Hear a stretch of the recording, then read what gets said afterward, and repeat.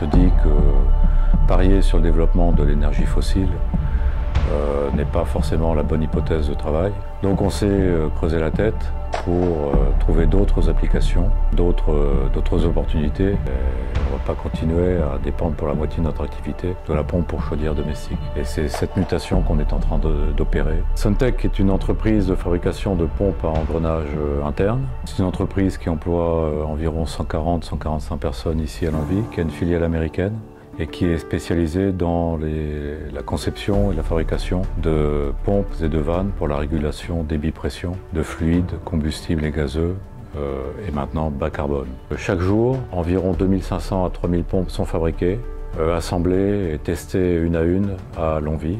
Bien qu'on soit une PME, on est leader mondial sur ce type de pompe. Et on s'est dit qu'avec ces, compétences et cette expertise, ben, on allait chercher à les utiliser pour explorer d'autres domaines d'application. Et là, on a été aidé par le CETIM, qui nous a mis en place le, programme Corinne. Et on est parti, la première réunion, on avait un consultant CETIM, un groupe de travail qu'on a constitué de façon très transversale. Et c'était important d'avoir des pistes de recherche et des pistes d'analyse. Et puis on a eu un client nous a demandé de développer, de concevoir une petite pompe pour alimenter un système de chauffage monté dans les bus électriques. Comme on se sentait accompagné dans la démarche Corinne, on s'est dit on joue le coup à fond. Donc on a mis des ressources pour euh, concevoir, on est là aussi parti d'une page blanche. On a repris euh, leur cahier des charges et on a été accompagné par euh, les deux consultants du CETIM. On a fabriqué un premier prototype qui donnait satisfaction et on est passé à la deuxième étape euh, pour fabriquer cette pompe, on a besoin de nouveaux équipements. Et donc le choix d'investissement a d'abord reposé sur acheter du matériel, des équipements euh, modernes. L'objectif, c'est de rentrer dans le monde de l'industrie du futur, dans le monde du data, dans le monde de la précision, de la qualité, de la répétabilité. Les machines Chiron qu'on a fait rentrer, ça n'est que la première euh, étape. On travaille maintenant sur la deuxième étape. On s'est fait accompagner aussi par le CETIM dans la, grille de sélection des, fournisseurs.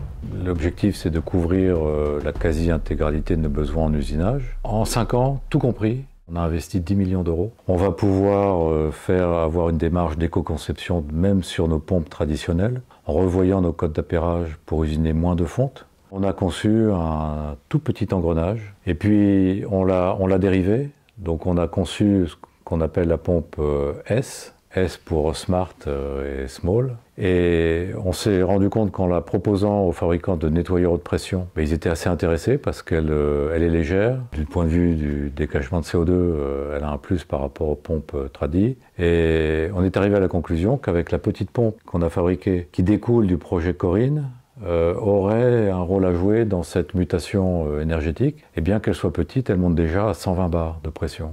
Et on a un objectif la monter à 250 bars, donc on peut la monter dans des microcentrales hydrauliques. Et le deuxième euh, point, c'est qu'on avait développé une vanne de régulation débit-pression pour le gaz. On a mené une veille technologique qu'on a, a commencé il y a environ 6 ans. On est membre de France Hydrogène et on s'est inspiré de la méthode Corinne, on a élargi au maximum. Et on est tombé sur une application euh, qui fonctionne déjà, qui consiste à mélanger du gaz naturel, du méthane, avec de l'hydrogène. Donc on n'est pas du tout sur la mobilité, on n'est pas du tout sur le grand public. C'est simplement les industriels qui ont un four de cuisson euh, gaz, qui veulent faire tomber leur taux de dégagement de CO2. Et on l'a développé, on l'a breveté, c'est un brevet mondial, et on pense qu'on a de bons, arguments, de bons atouts, vu les, les premières marques d'intérêt qui nous ont été donnés par des grands groupes industriels euh, français et étrangers.